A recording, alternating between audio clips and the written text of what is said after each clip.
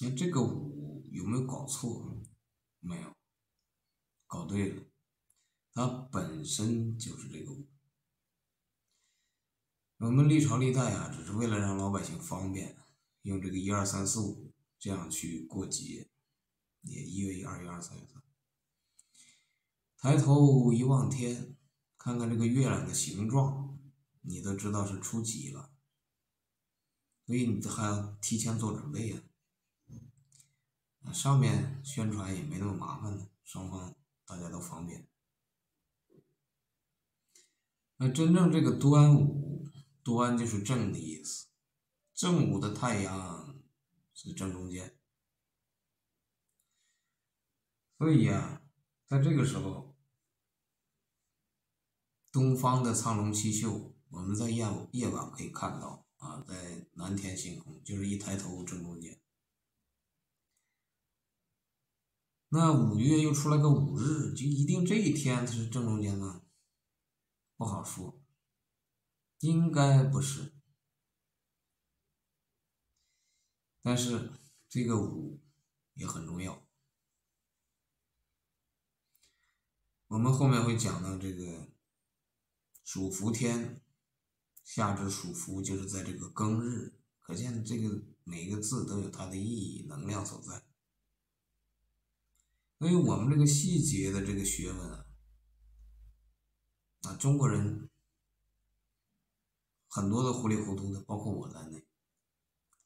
但是大的方向是没有错的啊，理大道易行，我们还是要讲。因为现在人什么都不懂，又什么都不学，偏偏自以为是，甚至还笑那些懂的人，啊，做的事情什么都是错的，没有意义嘛，活着就是乱造业。那这一天呢，啊。端午一定是中间吗？我们的疑问还有就是，可能芒种这一天才是正中间，所以故而自我去反省纠结这个问题。因为你要数节气的话，立春就开始三阳生，那这个时候到这个夏至的时候，都已经阴生了一半了，阴。所以我们姑且只能是认为这个子午线啊，当做正中间看。那这个端午啊，五月就是中间吗？这个一二三四五一共十二个，哼，老天的这个五月。从冬至开始，十一月开始，到这个时候已经七了。所以说，这个阴历五月呢，啊，又叫独月，这都是后来的一些说法，但是有它的意义所在，有道理。这个时候一阴开始生，啊，物必先腐，然后重生，它都是从这个。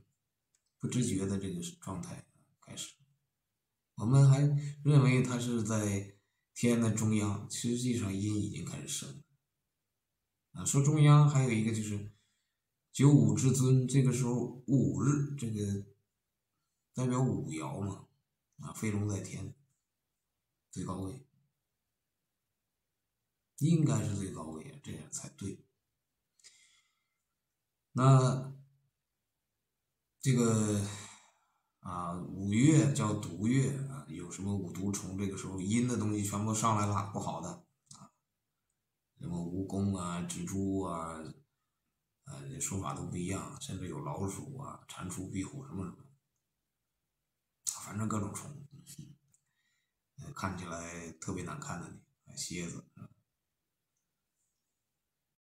那这个九毒日。啊，就是五月的五六七、十五六七、二十五六七，还有一个十四日是天地交泰日。啊，我们讲不完了，下节课。